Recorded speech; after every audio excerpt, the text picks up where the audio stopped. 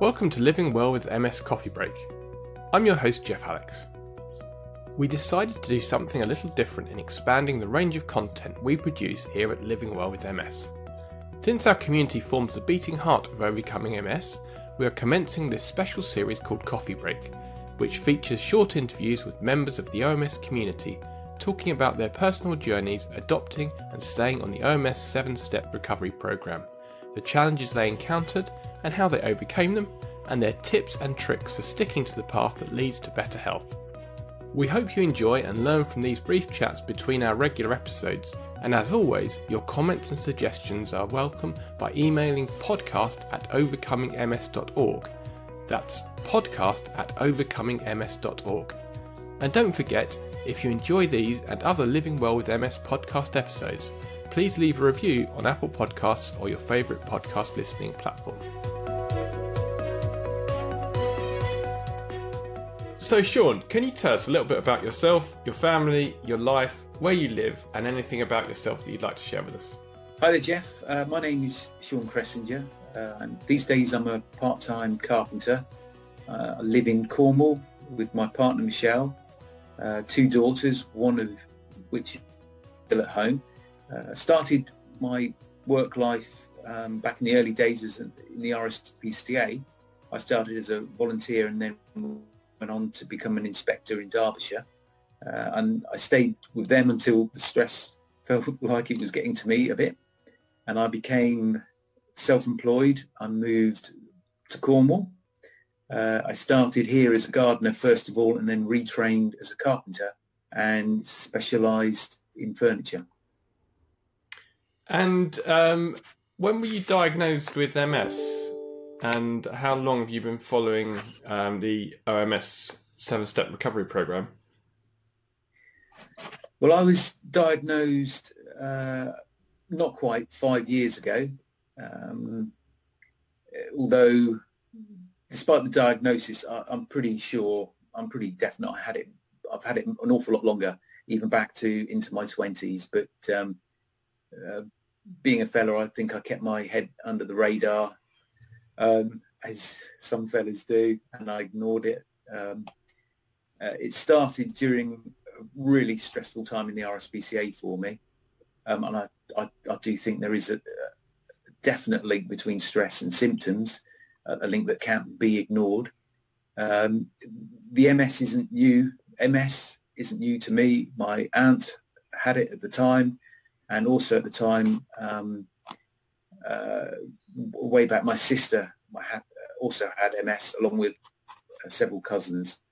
Um, and I started the OMS within months of the, this more recent diagnosis, if you like, the five-year diagnosis. Um, within months of that, I had um, found out about OMS and I started the program.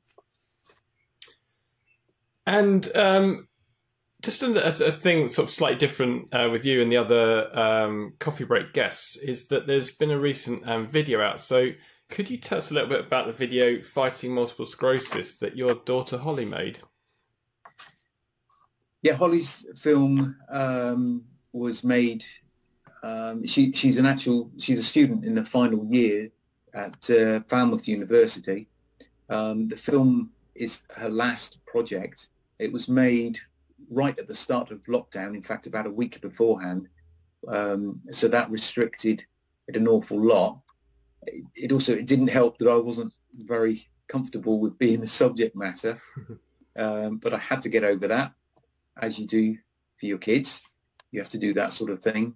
But it has resulted. It's been well viewed. It's been. It's resulted in over uh, 2,000 views. Um, that's on YouTube and Instagram um, and counting, um, which is really it's the result that I wanted. Um, that was the whole point of uh, of uh, me wanting to take part in that film. I mean, it is linked to in the show notes, so I would recommend. It's a it's a quite an inspirational um, video to watch. Um, so yeah, I'd recommend anyone um, listening to this watches that. Um, and with the OMS program, what's um, your favourite thing about the OMS program, um, and what do you feel has made the, the biggest positive impact to you? Uh, my favourite part would be the food, actually. Um, the the food has just I'm uh, I'm so keen on the food now. It was fairly easy for me anyway because I was a vegetarian, so the jump to an OMS diet wasn't a huge one, but it is my favourite part. I mean, really, it's nice that I'm a healthier weight now than I was before, which is, is quite nice. Um, but I do enjoy cooking. Uh, it feels really good actually to be feeding myself with foods that are going to help keep me as healthy as possible for as long as possible. Um, so really favorite wise, that's my favorite part is now that I feel healthier in many ways than I did five years ago. That, that was the biggest positive. What's your greatest challenge in adopting the OMS program? Uh, well, for me, as I said before, I mean, luckily, in many ways, it wasn't too much of a challenge. Uh, I, I had ex, you know, I was exercising anyway. Um, I was a vegetarian anyway, uh, and also a big part that's, that's helped is Michelle, my partner. Uh, she ate an almost entirely OMS diet anyway, so that wasn't that wasn't a, a challenge. But what has been a challenge for me personally is the meditation side. Uh, that has been a bit of an issue, and it remains a bit of an issue. Uh, it still eludes me, um, but I'm continuing to work on it. Um, but for me, that has been the biggest challenge is just getting that aspect of the program, uh, trying to come to terms with that and trying to actually do it efficiently. You did mention like. actually that, that, there's a you've found a definite connection with stress. So there's definitely a, a mental aspect to it, isn't there? To me, the the stress the stress aspect, the more the more people with the MS that I speak to, um, the more I'm absolutely convinced that stress has got such a huge uh, and that it actually causes it in the first place. I, okay, I've no idea about that. Um, but I am pretty sure that once stress is added to the pot, if you like, um, the actual MS condition can can flare up and it can cause symptoms. Uh, so I think controlling that uh, for me in my non-medical with my non-medical background, um, that that stress is is, is a, has got a huge part to play. Um, and so you touched on um, lockdown affecting the video recording, and um, this obviously recorded um, during sort of right in the middle of the COVID nineteen pandemic. Um, so, how have you had to adapt your um, daily healthy habits to the realities imposed by COVID nineteen? I mean, we're in the UK, and uh, well, actually. myself and Sean, we're in neighbouring OMS circles, if you like. Um, and so down here, I mean, we have been told we're on pretty much complete lockdown in the UK. Um, we shouldn't really be going out very often at all. Um, and a lot of people with MS have been told not to go out, literally not at all, not even leave the front door. So, um, how have you had to had to adapt to that, and how has COVID nineteen affected you? Well, with COVID nineteen, I'm I'm trying I'm trying Geoff to put to, to actually take some positives from it. Uh, I, am not a key worker, and as you'll know, that key workers can can carry on uh, and and do what they have to do. Um, but as a carpenter, all my carpentry projects uh, they can all wait. Uh, so I'm at home. Um, I'm not as active. Um, so with that side of things, I mean, luckily I've got some gym equipment at home, uh, so I make sure I use it more so than I used to. Um, I used to use it pretty regularly anyway, maybe two or three times a week. Now it's I'm trying to use it every day, just purely because I'm not as active. Um, but in some ways, I, I am actually trying to enjoy the slower pace of life.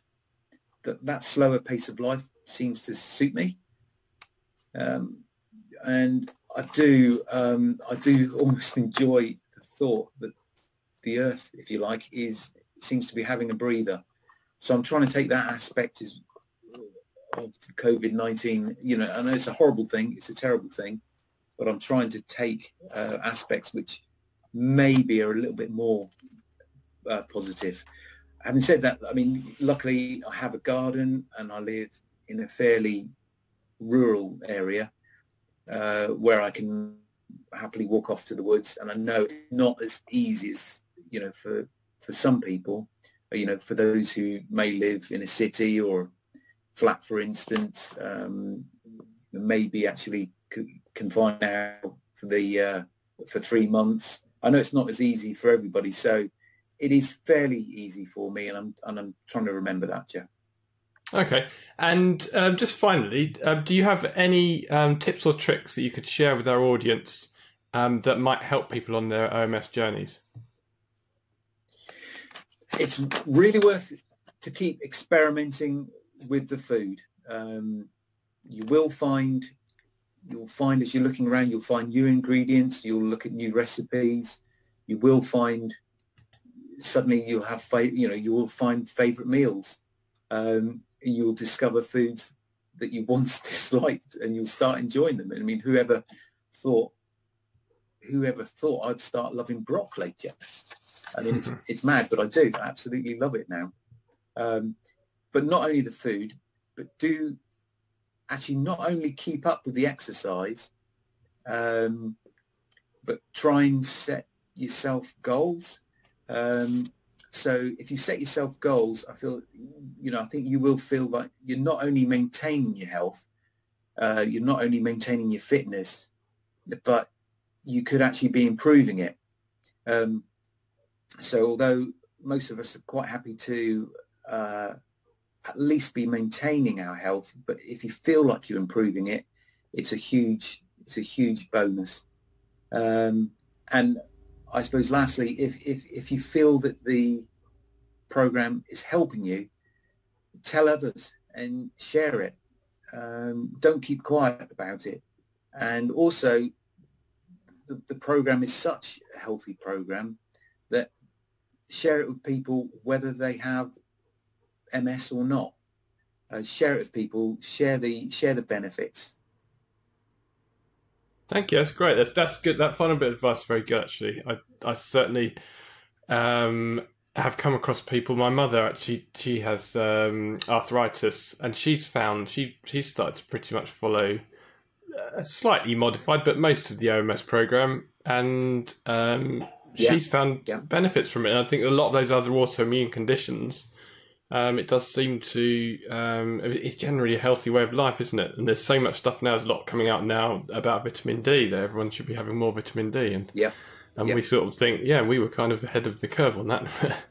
yeah, um, well, I think I think I think you're right. We're not, um, you know, it's not just purely an MS diet. it, it is, um, it is. I'm sure it is good for everybody, Geoff. Yep. Okay. Thank you very much for that, and thank you for joining us on the OMS Coffee Break, Sean Kressinger.